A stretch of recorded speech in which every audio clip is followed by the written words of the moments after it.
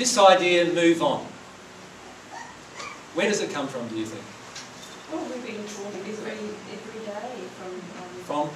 People who don't know how to resolve emotions.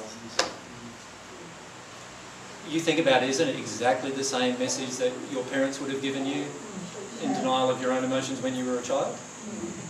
So why believe them now when they're just not your parent, it's somebody else telling you? All they're doing is denying their own emotion. Every time you hear this thing move on, I'm suggesting to you, you will move on when you fully experience the causal emotion within yourself. And that's totally different than experiencing the effect. Now, go back to our illustration of the lady who's in an abusive relationship, right? She could cry every day, and she probably is, right? Well, wouldn't you cry every day if you were getting beaten every day? Mm-hmm. Probably.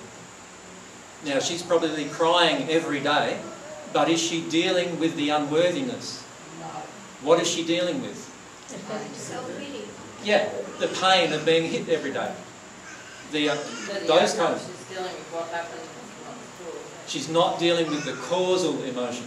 If she dealt with the causal emotion, the unworthiness, she would no longer even be able to live in that relationship. She would just leave instantly. The instant she deals with that causal emotion. That makes sense, doesn't it? She would leave happily. She would leave happily, yes. It wouldn't be a trauma for her to leave. She'd want to leave. Mm-hmm. Yeah.